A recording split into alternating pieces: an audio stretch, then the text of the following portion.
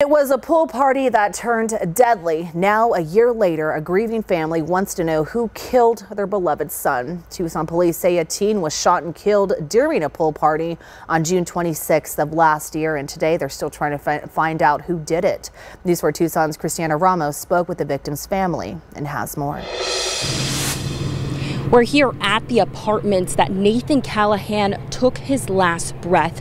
We're told by police he was beaten up by a group of people before he was shot in the back of the head and killed. Now, over a year later, no other witnesses and no arrests.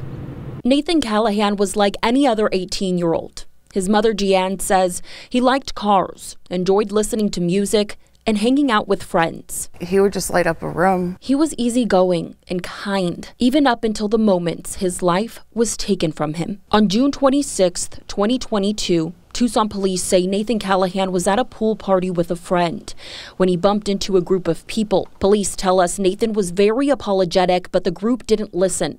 Police say he was still beaten up. After the beating, Nathan would head towards his friend, but he wasn't alone. His family says he was pursued by the group, going after him again. And I walked over and tried to fight him again, and one of them just pulled a gun out and shot him in the back of the head.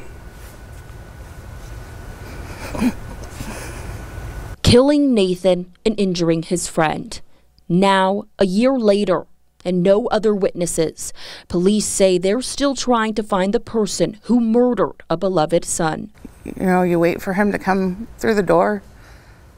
It's hard for it to sink in and, and know that he's not.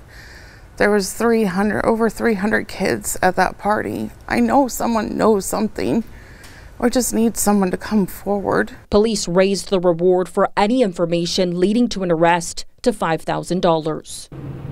If you have any information, no matter how small it is, it can be the missing piece leading to an arrest. You can call 88 Crime and remain anonymous. Christiana Ramos, News 4 Tucson.